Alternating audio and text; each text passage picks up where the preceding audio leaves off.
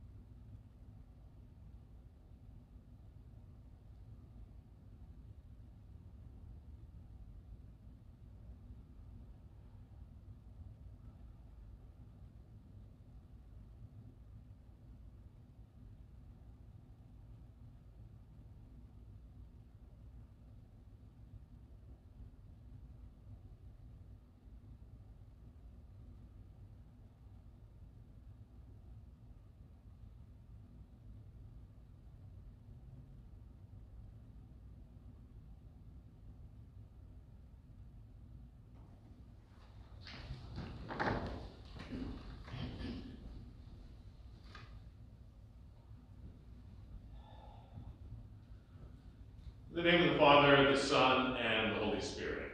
Amen. The Lord be with you. And with your spirit. Today we celebrate the memorial of Saint Jerome, priest and doctor of the Church. Let us take a moment to prepare our hearts to celebrate these sacred mysteries by acknowledging our sin.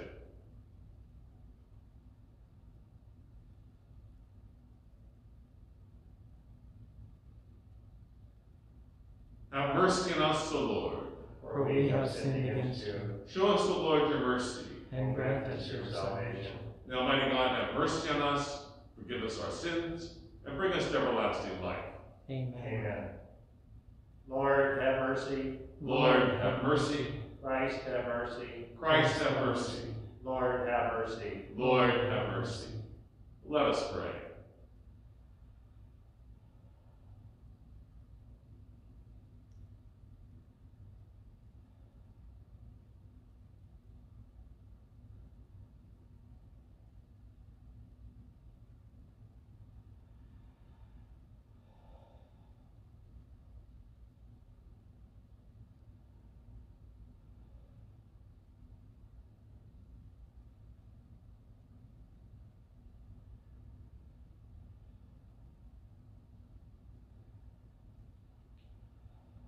O God, who gave the priest St. Jerome a living and tender love for sacred scripture, grant that your people may be ever more fruitfully nourished by your word, and find in it the fount of life.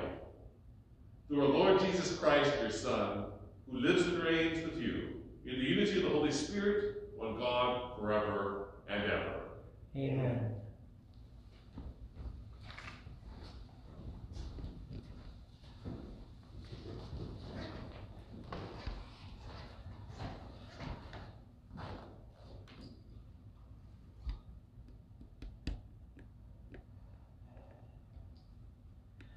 A reading from the book of Job.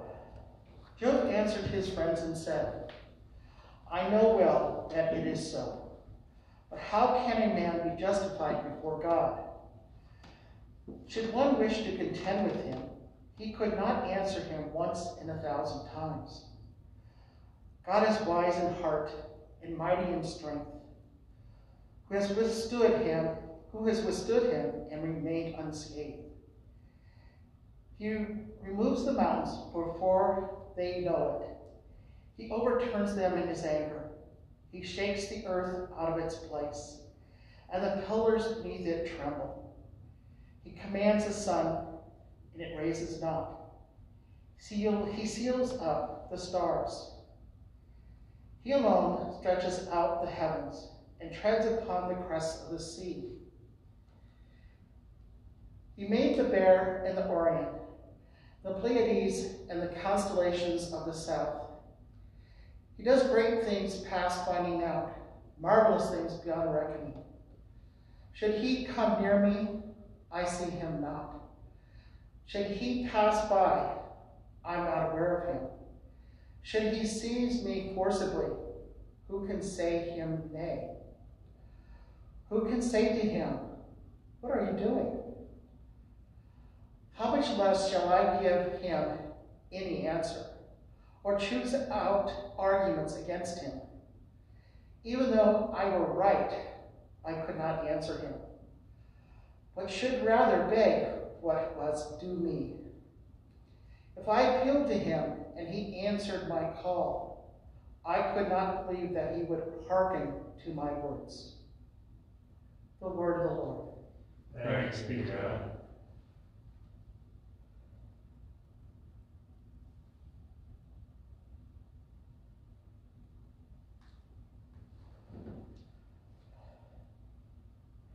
Let my prayer come before you, Lord. Let my prayer come before you, Lord. Daily I call upon you, O Lord. To you I stretch out my hands. Will you work wonders for the dead? Will the shades arise to give you thanks? Let my prayer come before you, Lord. Do they declare your mercy in the grave, your faithfulness among those who have perished? Are your wonders made known in the darkness, or your justice in the land of oblivion? Let my prayer come before you, Lord. But I, O Lord, cry out to you. With my morning prayer, I wait upon you. Why, O Lord, do you reject me? Why hide from me your face? Let my prayer come before you, Lord.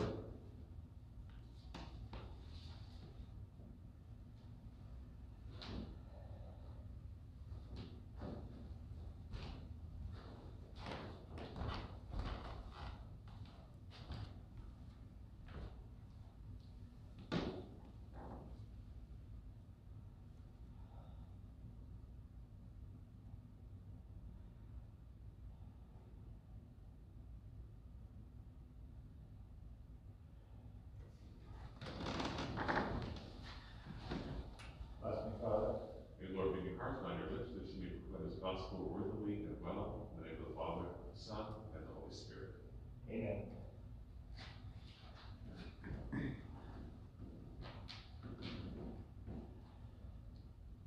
The Lord be with you. And with your spirit. A reading from the Holy Gospel according to Luke. Glory to you, O Lord. As Jesus and his disciples were proceeding on their journey, someone said to him, I will follow you wherever you go. Jesus answered him, Foxes have dens and birds of the sky have nests, but the Son of Man has nowhere to rest his head. And to another he said, Follow me. But he replied, Lord, let me go first and bury my father. But he answered him, Let the dead bury their dead. But you go and proclaim the kingdom of God. And another said, I will follow you, Lord, but first let me say farewell to my family at home. Jesus answered him, No one who sets a hand to the plow and looks to what was left behind is fit for the kingdom of God. The Gospel of the Lord. Praise to you, Lord Jesus Christ.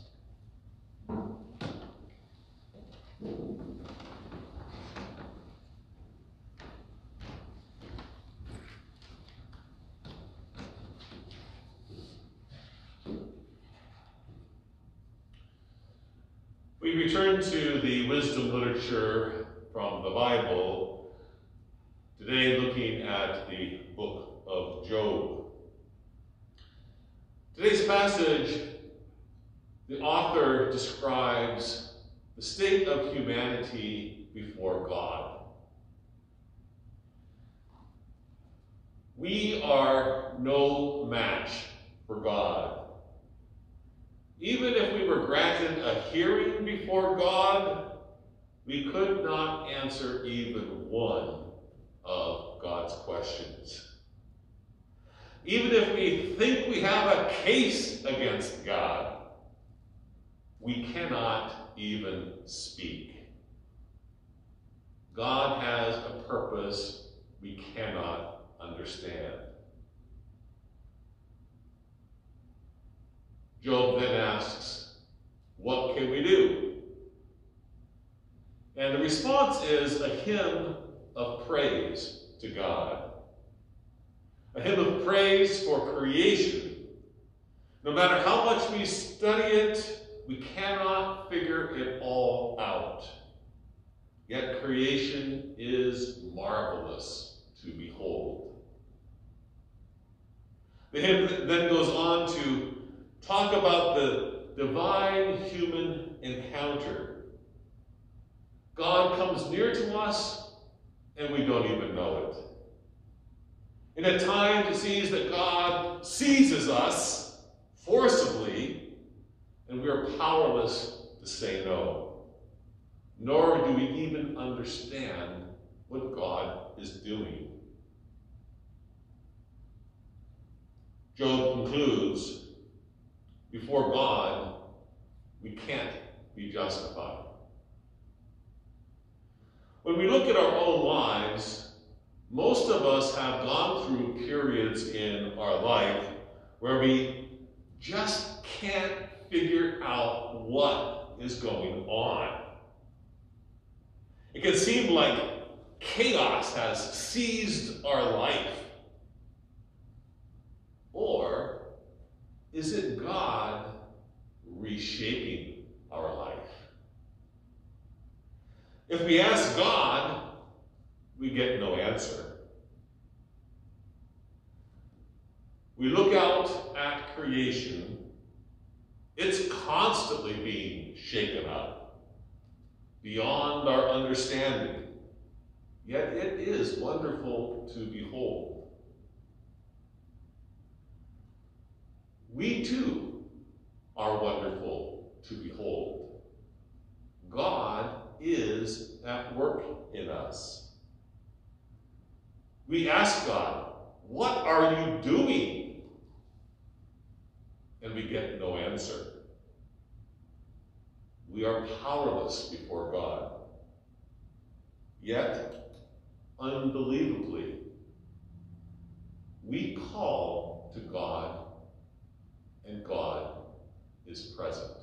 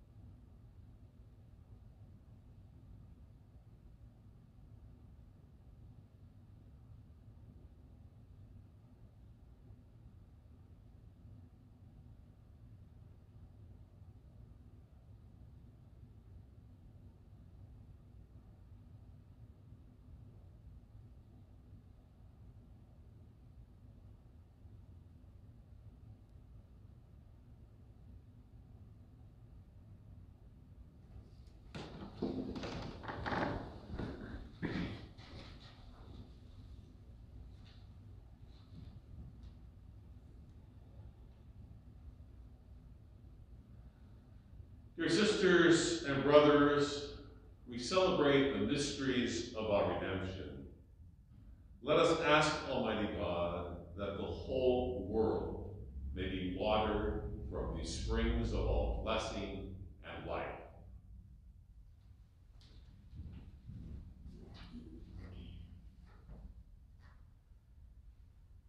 For all those who have vowed themselves that with his help they may faithfully keep to their resolve, we pray to the Lord.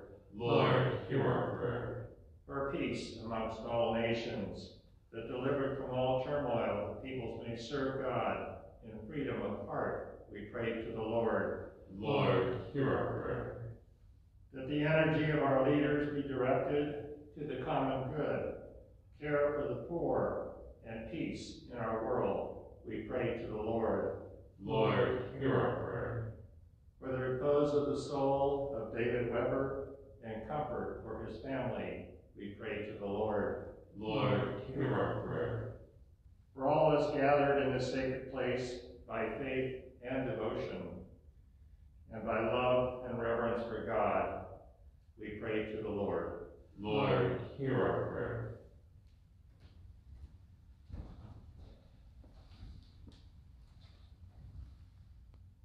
May your mercy, we beseech you, O Lord, be with your people who cry out to you, so that what they seek at your prompting they may obtain by your ready generosity through Christ our Lord.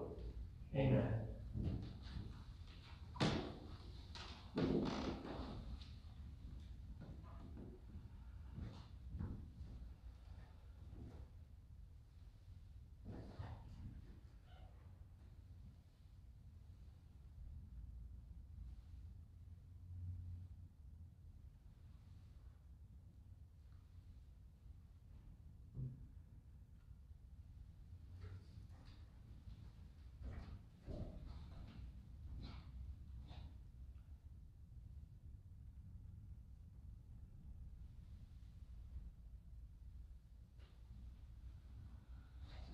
Blessed be you, Lord, God of all creation.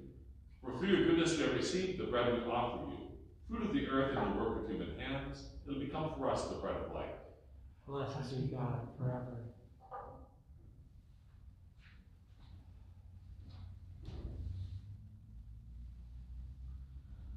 Blessed be you, Lord, God of all creation. For through your goodness we have received the wine we offer you, fruit of the vine and the work of human hands. Will become for us our spiritual drink. Blessed be God forever.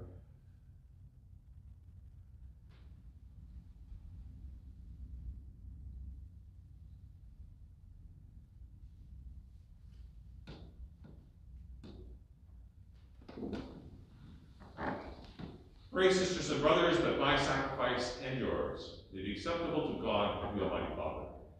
May the Lord accept the sacrifice at your hands for the praise and glory of his name, for our good and the good of all his holy church. Grant us, O Lord, that, having meditated on your word, following the example of St. Jerome, we may more eagerly draw near to offer your majesty the sacrifice of salvation through Christ our Lord. Amen.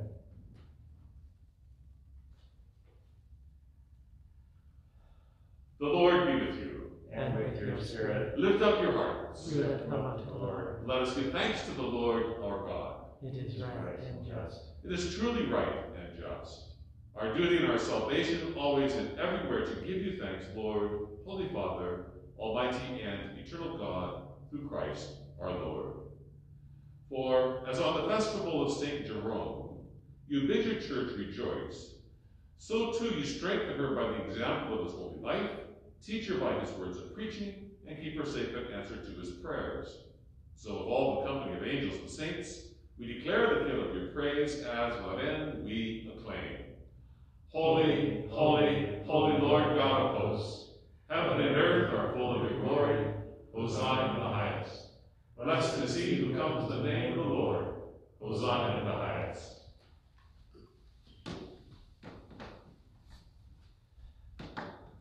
You are indeed holy, O Lord, the font of all holiness. Make holy, therefore, these gifts, we pray, by sending down your Spirit upon them like the dewfall, so that they may become for us the body and blood of our Lord Jesus Christ. At the time he was betrayed and entered willingly into his passion, he took bread and giving thanks, broke it, and gave it to his disciples, saying, Take this, all of you, and eat of it, for this is my body, which will be given up for you.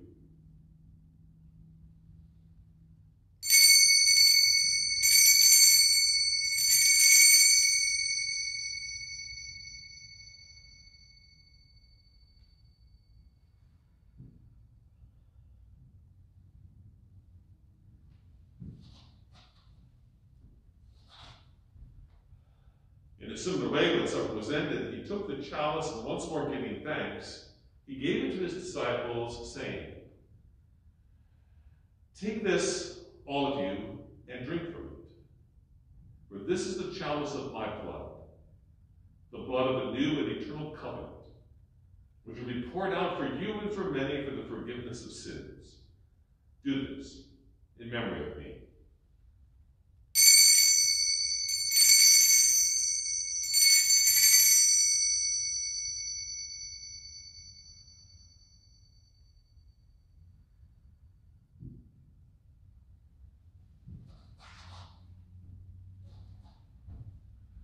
The mystery of faith. When we eat this bread and drink this cup, we proclaim the death of the Lord until you come again. Therefore, as we celebrate the memorial of his death and resurrection, we offer you, Lord, the bread of life and the chalice of salvation, giving thanks that you've held us worthy to be in your presence and minister to you. Humbly we pray that, partaking of the body and blood of Christ, we may be gathered into one by the Holy Spirit. Remember, Lord, your church, spread throughout the world, and bring her to the fullness of charity, together with Francis our Pope and Thomas our Bishop and all the clergy. Remember also our brothers and sisters who have fallen asleep in the hope of the resurrection, and all who have died in your mercy. Welcome them into the light of your face. Have mercy on us all, we pray, that with the Blessed Virgin Mary, Mother of God, the blessed Joseph, her spouse, with the blessed apostles and all the saints who pleased throughout the ages, we may merit to be co-heirs to eternal life, may praise and glorify you through your Son, Jesus Christ.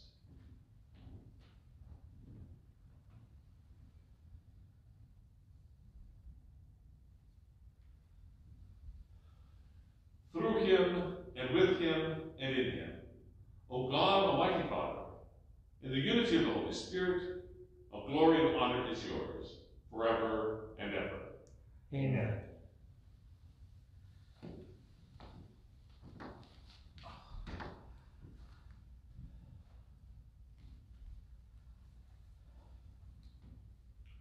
Let us pray together in the words our Savior gave us. Our Father, who art in heaven, hallowed be thy name. Thy kingdom come, thy will be done, on earth as it is in heaven. Give us this day our daily bread, and forgive us our trespasses, as we forgive those who trespass against us. And lead us not into temptation, but deliver us from evil. Deliver us, Lord, we pray, from every evil.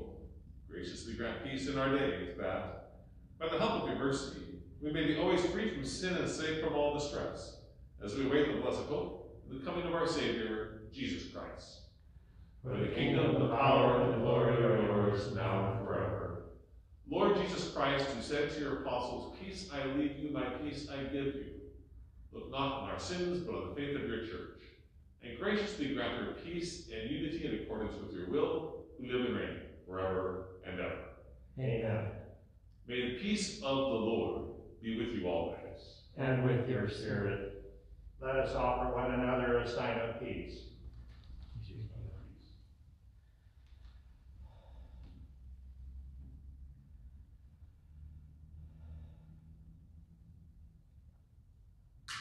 Lamb of God, You take away the sins of the world, have mercy on us. Lamb of God, you take away the sins of the world, have mercy on us. Lamb of God, you take away the sins of the world, grant us peace.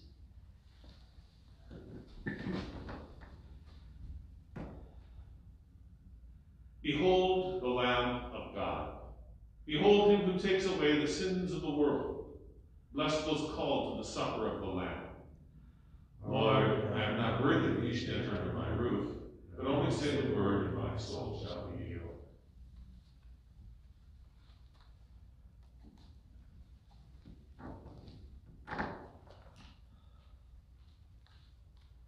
Lord God, your words were found and I consumed them.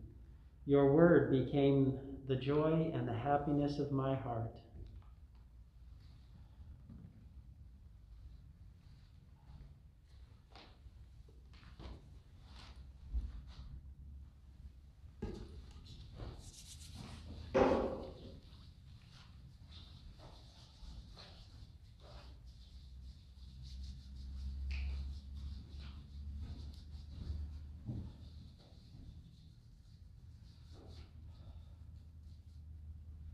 the body of Christ. Amen.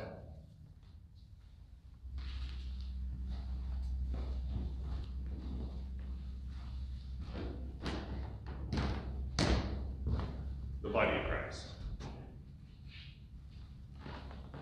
The body of Christ.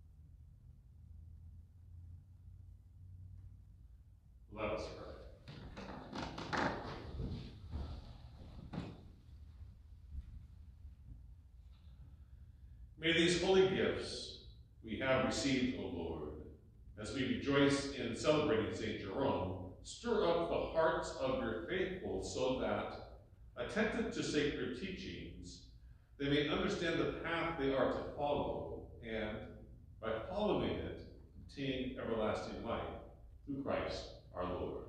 Amen. The Lord be with you. And with your spirit. May Almighty God bless you, the Father, the Son, and the Holy Spirit. Amen.